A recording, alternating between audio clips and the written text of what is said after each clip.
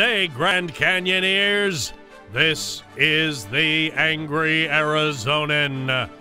Sunday, November 4th at 2 a.m., Arizona will celebrate the 50th anniversary of independent thinking and once again stand out as different from the rest of the United States.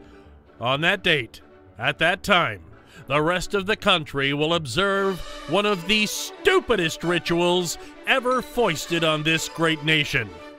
Americans will crank back their collective clocks in order to comply with daylight savings time! I'm sorry. No, I'm not. You've no doubt heard the old quote attributed to an unknown Native American regarding daylight saving time. Quote, only a white man would believe you could cut a foot off the top of a blanket, sew it to the bottom of the blanket to make a longer blanket. Unquote. Well, I can guarantee you that Native American was not a Navajo. Because the northeast chunk of Arizona is Navajo Nation and they do observe daylight saving time. However, it could have been a Hopi.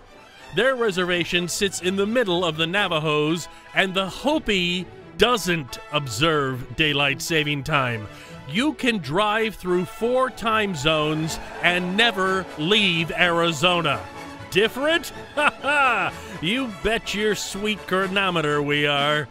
And get this a 2014 study revealed that heart attacks increase by 21% on the Monday in March when the rest of the country has to reset their clocks forward an hour. If there's anything we don't need during an Arizona summer, it isn't more Circle K's. It's another hour in the sun. So take your daylight saving time and stick it where the sun don't shine.